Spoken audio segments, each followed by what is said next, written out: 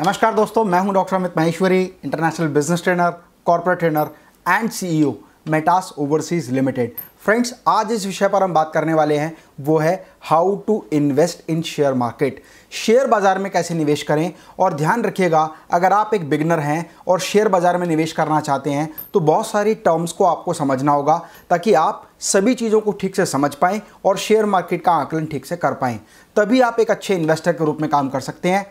क्योंकि एक बात कही जाती है कि नीम हकीम खतराए जान। मतलब किसी भी चीज़ की आधी अधूरी जानकारी आपके लिए बहुत खतरनाक हो सकती है। बहुत सारे लोग बिगनर लेवल के बाद जब इंटरमीडिएट लेवल पर आते हैं, तभी शेयर मार्केट में ट्रेड करना शुरू कर देते हैं, जबकि वो बहुत सारी चीज़ों की जानकारी नहीं रखते, जिसकी वजह से उनको लॉस हो जाता है। तो आज हम बात करेंगे how to invest in share market अब ये शेयर मार्केट को समझने से पहले हमें ये समझना होगा कि कंपनीज़ किस तरह से फंड रेज करती हैं। ध्यान रखिए, एक कंपनी जब अपने बिज़नेस को एक्सपेंड करना चाहती है, बिज़नेस को एक्सपेंशन की ओर ले जाना चाहती है तो वो कंपनी मार्केट से कैपिटल रेज करती है। मतलब मार्केट से पैसा जुटाती है या एक तरह से लोन लेती है। तो कंपनी जब कैपिटल रेज करती है तो उसके दो अलग तरीके होते हैं। पहला जो मेथड है, उसको कहते हैं डेट फाइनेंस मतलब एक तरह से कर्ज के रूप में पैसा लेना और कर्ज के रूप में पैसे लेने के लिए कंपनी क्या करती है? अपनी सिक्योरिटी के आधार पर लोन ले सकती है। जो दूसरा तरीका है वो है इक्विटी इक्विटी मतलब कंपनी की हिस्सेदारी। जब एक कंपनी को कैपिटल रेज करनी होती है तो वो अपनी कंपनी की हिस्सेदारी लोगों को ऑफ़र करती है और जो लोगों को कंपनी की हिस्सेदारी ऑफ़र करती है, उसके बदले एक पैसा लेती है और उस पैसे से कंपनी का एक्सपेंशन करती है और कंपनी को आगे बढ़ाने के लिए काम करती है। अगर आपने कंपनी को डेट दिया है, कर्जा दिया है तो आपको उस पर मिलने वाला ब्याज इंटरेस्ट के रूप में, आपकी इनकम के रूप में होगा। लेकिन अगर आपने कंपनी की हिस्सेदारी ली है तो आपको डिविडेंड मिलेगा। ठीक है? डिविडेंड के अलावा आपकी कंपनी की जो ग्रोथ होगी, उससे आपके शेयर की वैल्यू भी बढ़ेगी। ठीक है, ये बात हमें समझना बहुत ज़रूरी है। अब एक कंपनी कैपिटल रेज करने के लिए क्या करती है? सबसे पहले एक कंपनी जब कैपिटल रेज करना चाहती है तो उसको आईपीओ लेकर आना था। उसको बोलते हैं इनिशियल पब्लिक ऑफरिंग मतलब वो कंपनी अपने शेयर बाज़ार में बेचने के लिए तैयार है और बहुत सारे निवेशक, बहुत सारे इन्वेस्टर बहुत सारे शेयर होल्डर उन शेयर्स को खरीदेंगे और कंपनी उससे कैपिटल रेज करेगी और रेज करने के बाद अपनी कंपनी में इन्वेस्ट करेगी। अगर शेयर की वैल्यू बढ़ेगी तो आपको प्रॉफिट होगा, घटेगी तो आपको लॉस होगा।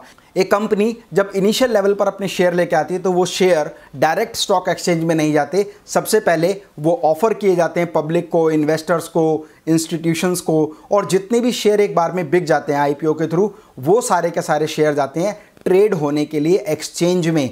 मतलब एक बात समझिए कि जब एक्सचेंज में जो शेयर है ना, एक तरह से वो सेकेंड हैंड चीज़ होती हैं। क्लियर मैं यहाँ पर मैं आपको एक बात क्लियर करना चाहता हूँ कि आज जितनी भी टर्म्स का मैं इस्तेमाल करूँगा, जितने भी वर्ड्स का इस्तेमाल करूँगा, वो बहुत ज़्यादा टेक्निकल लैंग्वेज नहीं होगी, बिल्कुल सिंपल ले मैन लैंग्वेज होगी मतलब एक साधारण व्यक्ति भी उस चीज़ को समझ पाए। फाइन अब जो एक्सचेंज है, जहाँ पर हमारे शेयर ट्रेड होते हैं, वो दो तरह के हैं एनएससी एंड बीएससी एनएससी मतलब नेशनल स्टॉक एक्सचेंज बीएससी मतलब बॉम्बे स्टॉक एक्सचेंज जहाँ पर वो सारे शेयर ट्रेड होते हैं। तो सबसे पहले बात करते हैं एनएससी एनएससी मतलब नेशनल स्टॉक एक्सचेंज और नेशनल स्टॉक एक्सचेंज में हज़ारों कंपनीज़ के शेयर लिस्ट होते हैं। उन हज़ारों कंपनीज़ में से टॉप मोस्ट जो 50 कंपनीज़ हैं बेस्ट 50 कंपनीज़ हैं, जिनकी मार्केट कैपिटलाइजेशन सबसे ज़्यादा है, उनके ग्रुप को बोलते हैं निफ्टी निफ्टी मतलब नेशनल 50 नेशनल स्टॉक एक्सचेंज की टॉप मोस्ट 50 कंपनीज़ के ग्रुप को हम निफ्टी बोलते हैं। इज़ अ क्लियर अब समझते हैं बीएससी बीएससी मतलब Bombay stock exchange. Bombay stock exchange में भी बहुत सारी कंपनीज़ लिस्ट होती हैं। लगभग तीन हज़ार से ज़्यादा कंपनी यहाँ पर लिस्टेड हैं।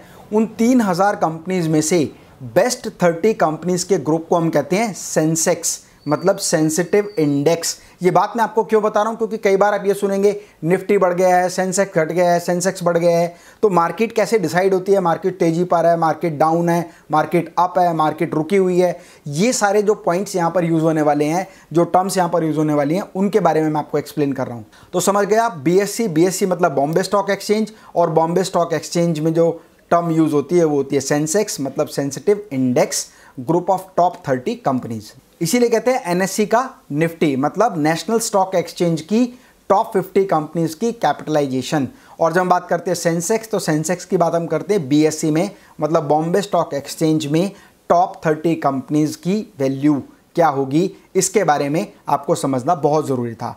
अब हम बात करते हैं कंपनी की जो कैपिटल वैल्यू है, वो कैसे कैलकुलेट करते हैं। और ये बिल्कुल सीधा फार्मूला है, उस कंपनी के नंबर ऑफ़ शेयर कितने हैं, और उस शेयर का मार्केट प्राइस कितना है, उनको मल्टीप्लाई करते हैं। मतलब फॉर एग्ज़ाम्पल मान लीजिए कंपनी के एक लाख शेयर हैं और हर शेयर का प्राइस सौ रुपये है तो उस कंपनी की वैल्यू कितनी हो गई? वन करोड़ रुपीज़ मतलब एक lakh share into number of price पर share in market that is hundred rupee equal to one crore rupees ये तरीका है किसी भी कंपनी की कैपिटल को, किसी भी कंपनी की मार्केट वैल्यूएशन को कैलकुलेट करने का। वॉरेन बफे कहते हैं कि losing money in share market is near to impossible share बाज़ार में पैसा डूब जाए, ये एक तरह से बिल्कुल इम्पॉसिबल बात है। लेकिन सबसे बड़ा रिस्क क्या है? The biggest risk is not having the required skill आपके पास रिक्वायर्ड स्किल्स नहीं है, ये सबसे बड़ा रिस्क है। तो यहाँ पर एक एक चीज़ को समझना है इंप्लीमेंट करना है, तभी आप शेयर मार्केट में वॉरेन बफे की इस डेफिनेशन को प्रूव कर पाएँगे।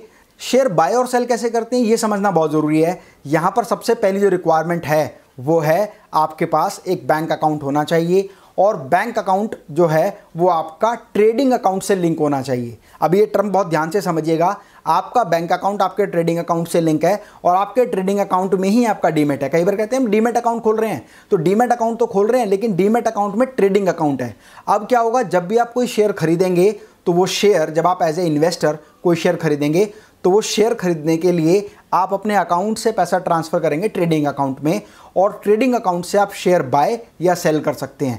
जैसे आपने मान लीजिए रिलायंस कंपनी के 100 शेयर खरीदे तो आपने सबसे पहले पैसा अपने बैंक अकाउंट से ट्रेडिंग अकाउंट में ट्रांसफ़र किया और उस ट्रेडिंग अकाउंट से आपने ट्रेड किया, आपने हंड्रेड शेयर बाय किए। जब वो हंड्रेड शेयर बाय कर लेंगे ट्रांजेक्शन आपके पास आ जाएगी तो वो हंड्रेड शेयर आपके अकाउंट में, आपके डीमेट अकाउंट में शो करेंगे। फाइन यहाँ चार्ट आप ध्यान से देखिए कि आपका बैंक अकाउंट बैंक के साथ लिंक है ट्रेडिंग अकाउंट ट्रेडिंग अकाउंट का लिंक है डीमेट अकाउंट जो भी चीज़ आप ट्रेडिंग अकाउंट से खरीदेंगे, वो बाय और सेल वो स्टॉक मार्केट से होगी मतलब एक्सचेंज से होगी. और जो भी चीज़ आप एक्सचेंज से खरीद या बेच रहे हैं, जो खरीदने बेचने वाला व्यक्ति है, उसको हम कहते हैं ट्रेडर मतलब अगर आप शेयर खरीदेंगे या बेचेंगे तो आप ट्रेडर कहलाएँगे. आपके अकाउंट से ही ट्रेड होगा, जो कि एक्सचेंज के साथ जुड़ा हुआ होगा। ये बहुत इंपॉर्टेंट बात है। कई बार क्या होता है कि आपने एक ही बैंक में, मान लीजिए आईसीआईसी बैंक है तो आईसीआईसी बैंक में आपका अकाउंट है, उसी में आपने अपने अकाउंट को डीमेट और ट्रेडिंग से लिंक किया हुआ है तो आपको लगता है कि मेरा एक ही अकाउंट है। फाइन जबकि ये तीन अलग अलग प्रारूप हैं, सबसे पहले आपका सेविंग अकाउंट सेविंग अकाउंट से ट्रेडिंग ट्रेडिंग से आपका डीमेट फाइन ट्रेडिंग में हुआ, जिसमें आप ट्रेड करेंगे, जिसमें सबसे ऊपर टर्म आप देख रहे हैं, उसमें लिखा हुआ है ट्रेडर मतलब आप। कई बार ट्रेडर आप खुद नहीं होते, बहुत सारे लोग खुद शेयर ट्रेड नहीं करते। वो अपने एजेंट के थ्रू काम करते हैं, जो या शेयर ब्रोकर के थ्रू काम करते हैं, या अपने मैनेजर के थ्रू काम करते हैं एग्जीक्यूटिव को अपॉइंट करते हैं, जो उनके बिहार पर शेयर की बाय एंड सेल करता है। और जो भी शेयर आप खरीदेंगे, बेचेंगे, वो आपके स्टॉक एक्सचेंज से लिस्टेड होगा और आपके स्टॉक एक्सचेंज के थ्रू ही शेयर खरीदे और बेचे जाएँगे। जो भी शेयर आप खरीदेंगे, वो आपके डीमेट अकाउंट में आएँगे और जो भी शेयर आप बेचेंगे, वो डीमेट अकाउंट से निकल जाएँगे। इज़ दैट क्लियर तो एज ए ट्रेडर जो आपका अकाउंट है, आपका सेविंग अकाउंट उसी के साथ आपका ट्रेडिंग अकाउंट और डीमेंट अकाउंट लिंक है, जो स्टॉक एक्सचेंज में डील करता है। कई बार आप एक ही बैंक से करते हैं तो बहुत बेस्ट रहता है। बहुत सारे लोग का सेविंग अकाउंट है एचडीएफसी में ट्रेडिंग अकाउंट है आई का तो एचडीएफसी से आई में ट्रांसफ़र करते हैं तो वहाँ पर डिले हो जाता है। मतलब पेमेंट का डिले रहता है। इसीलिए कोशिश करें कि जिस बैंक में आपका अकाउंट है, उसी बैंक में आपका डीमेट और ट्रेडिंग अकाउंट होना चाहिए।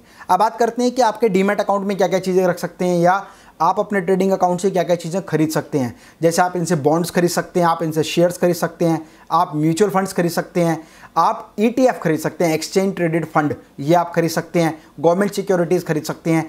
ये सारी की सारी चीज़ें कहाँ सेव होती हैं? आपके डीमेट अकाउंट में। इज़ दैट क्लियर तो ये टर्म बहुत अच्छे से पता होनी चाहिए, क्योंकि बहुत सारे लोगों को ये पता ही नहीं होता कि ट्रेडिंग अकाउंट क्या है, डीमेट अकाउंट क्या है, क्योंकि वो लिंक होता है एक ही साथ तो पता नहीं चल पाता उनको। तो एक एक टर्म आपकी जब क्लियर होगी, तभी आप एक्सपर्टीज लेवल तक पहुँचेंगे। When to buy when to sell और वेन टू होल्ड को समझने के लिए एक बहुत बड़ा क्वेश्चन है how the stock market really works वास्तविकता में स्टॉक मार्केट काम कैसे करती है? देखिए, मैंने आपको बताया कि जब कंपनी आईपीओ लेकर आती है तो वो शेयर आपस में ट्रेड होता है, एक दूसरे लोग खरीदते हैं, और उसके बाद जितने भी शेयर बिक जाते हैं, चाहे वो इंस्टीट्यूशन खरीदे ट्रेडर खरीदे, या प्रोमोटर खरीदे, उसके बाद वो शेयर ट्रेड होने के लिए एक्सचेंज में जाते हैं। अब जो एक्सचेंज है, वहाँ पर ये डिपेंड करता है कि आपके शेयर की डिमांड और सप्लाई कितनी है। अब ये डिमांड एंड सप्लाई कैसे डिसाइड होती है? जब आप शेयर खरीदना चाहते हैं तो आप समझ लीजिए शेयर की डिमांड कर रहे हैं। उदाहरण के रूप में लेते हैं। मैंने भी आपको बताया था, एक कंपनी के एक लाख शेयर हैं और सौ रुपये का एक शेयर है। कैपिटलाइजेशन जो है वो एक करोड़ रुपए है। अब उस एक करोड़ में से जब कंपनी ने अपना आईपीओ लेके आई तो कंपनी सिर्फ़ दस हज़ार शेयर का आईपीओ लेके आई और दस के दस हज़ार शेयर प्रोमोटर्स ने ट्रेडर्स ने इन्वेस्टर्स ने, सभी ने खरीद लिए और वो दस हज़ार शेयर लिस्ट हो गए कहाँ पर? एक्सचेंज में बिकने के लिए। अब जो शेयर एक्सचेंज में बिकने के लिए हैं तो बहुत सारे लोग उसको बेचेंगे और बहुत सारे लोग खरीदेंगे। जब उस शेयर की डिमांड ज़्यादा होगी और शेयर कम अवेलेबल होंगे। मतलब बेचने वाले कम हैं और खरीदने वाले लोग ज़्यादा हैं तो उसका प्राइस बढ़ने लग जाएगा। ये डिमांड एंड सप्लाई के रूल की तरह काम करता है। और जब उस शेयर का प्राइस घटेगा तो कैसे घटेगा? कि क्या होगा कि आपकी सप्लाई ज़्यादा हो जाएगी और डिमांड कम मतलब खरीदने वाले कम होंगे और बेचने वाले ज़्यादा। तो इस केस में उस शेयर का प्राइस घटना शुरू हो जाएगा। अब यहाँ ये बात समझना बहुत ज़रूरी है कि शेयर के डिमांड एंड सप्लाई डिसाइड कौन करता है। आपको लगता है आपने शेयर खरीदे तो आप डिमांड और सप्लाई को डिसाइड कर रहे हैं, या आप बेच रहे हैं तो डिमांड एंड सप्लाई आप डिसाइड कर रहे हैं। वॉरेन बफे ने यहाँ पर एक बात कही थी, 95 percent of mass is donating to 5 percent of class अब ये किस तरह से डिसाइड होता है? The financial market is consist of buying and selling among and between two groups मतलब शेयर मार्केट जो है वो दो तरह के ग्रुप्स के बीच में डिवाइड है, जहाँ पर बाइंग एंड सेलिंग होती है। और ये दो ग्रुप कौन कौन से हैं? एक है रिटेल ट्रेडर और इन्वेस्टर रिटेल ट्रेडर मतलब जैसे आपने शेयर खरीदे, मैंने शेयर खरीदे, बहुत सारे इंडिविजुअल लोग हैं, वो शेयर खरीदते हैं तो वो रिटेल ट्रेडर्स हो गए। और इन्वेस्टर जो कंपनी जो एक तरह से पूरी की पूरे उस कंपनी के शेयर को खरीदने की ताकत रखते हैं, वो होते हैं इन्वेस्टर्स अब ये इन्वेस्टर्स कौन कौन से होते हैं? 95 परसेंट मासेज जो पैसा डोनेट करता है, वो 5 परसेंट क्लास को करता है। ये वॉरेन बफे ने कहा। क्यों कहा? ये बात समझते हैं।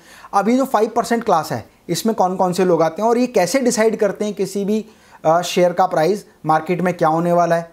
कैसे डिमांड या सप्लाई को बढ़ा या घटा सकते हैं? कैसे प्राइस शेयर के प्राइस को बढ़ा सकते हैं? कैसे शेयर के प्राइस को घटा सकते हैं? तो वो इंस्टीट्यूशंस कौन कौन से हैं? वो हैं बैंक मतलब बैंक्स जो हैं, जो कंपनीज़ के शेयर्स खरीदती हैं वो डिसाइड करती हैं, वो एक तरह से गेम चेंजर होते हैं। वो डिसाइड कर सकते हैं कि किसका शेयर बढ़ सकता है, किसका घट सकता है और क्या मार्केट प्राइस होने वाला है। बैंक्स हैं म्यूचुअल फंड्स आप जितने भी म्यूचुअल फंड्स खरीदते हैं, जैसे आपने H D F C mutual fund खरीदा I C C mutual fund खरीदा, ये सारी कंपनीज़ शेयर मार्केट में निवेश कर देती हैं। तो मतलब म्यूचुअल फंड की जो कंपनीज़ हैं, वो भी डिसाइड करती हैं कि मार्केट किस तरीके से होने वाली है। इंश्योरेंस कंपनीज़ आप जो भी इंश्योरेंस लेते हैं, वो उस इंश्योरेंस कंपनीज़ भी अपना पैसा शेयर मार्केट में इन्वेस्ट करती है, वो एक तरह के इंस्टीट्यूशंस होते हैं। फाइनेंशियल इंस्टीट्यूशंस मतलब बहुत सारी ऐसी कंपनीज़ जिनका काम ही फाइनेंस के ऊपर करना है, वो भी शेयर मार्केट में इन्वेस्ट करती हैं। डोमेस्टिक इंस्टीट्यूशंस एंड इन्वेस्टर्स ये भी शेयर मार्केट में इन्वेस्ट करते हैं। और फॉरेन इंस्टीट्यूशनल इन्वेस्टर मतलब विदेश से जो पैसा है, जो फॉरेन इन्वेस्टमेंट है हमारे शेयर बाज़ार में, वो भी मार्केट को ड्राइव करती हैं। मतलब हम जो मासेज हैं, वो 95 परसेंट है, लेकिन 5 परसेंट जो क्लास है वो मार्केट को डिसाइड करती हैं कि मार्केट कैसे होने वाली है। फाइन अब अगर हमें शेयर में ट्रेड करना है बाय करना है सेल करना है होल्ड करना है तो कभी भी हमें न्यूज़ को फॉलो नहीं करना।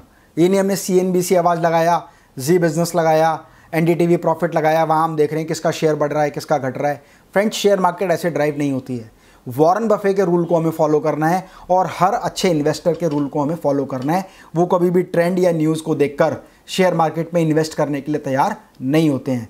तो ध्यान रखिएगा ये पूरी सीरीज़ मैं आप लोगों के लिए लेके आया हूँ, जिसमें मैं शेयर मार्केट के बारे में सब कुछ आपको बताने वाला हूँ कि शेयर मार्केट कैसे काम करती है, कौन सा शेयर खरीदना है, कैसे खरीदना है कंपनीज़ के फंडामेंटल कैसे चेक करने हैं एनालिसिस कैसे चेक करने हैं कंपनी की इनसाइड रिपोर्ट क्या है बैलेंस शीट को कैसे स्टडी करना है, सब कुछ हम लोग ये समझने वाले हैं। अगर आपको लगता है कि ये वीडियो आपके लिए बहुत वैल्यूएबल होने वाला है तो चैनल को तुरंत सब्सक्राइब कर लें, क्योंकि शेयर मार्केट में इन्वेस्टिंग के सारे फार्मूले सारे गुण मैं आपको यहाँ पर सिखाने वाला हूँ। आने वाली वीडियोज़ में हम बात करेंगे शेयर मार्केट में ट्रेड करते समय कैसे हम ये डिसाइड करते हैं कि इस कंपनी का शेयर अच्छा है या बुरा। इस कंपनी का शेयर का जो प्राइस अभी चल रहा है, वो खरीदने के लिए ठीक है या नहीं, अभी बाय करना है या नहीं करना, ये सारी बातें हम सीखेंगे और समझेंगे, और बहुत सारी टेक्निकल चीज़ों में हम लोग एक्सपर्ट बनेंगे। तो फ्रेंड्स स्वस्थ रहें, मस्त रहें। मैं डॉक्टर अमित माहेश्वरी, आपके सुनहरे भविष्य की कामना करता हूँ। जय हिंद, जय भारत।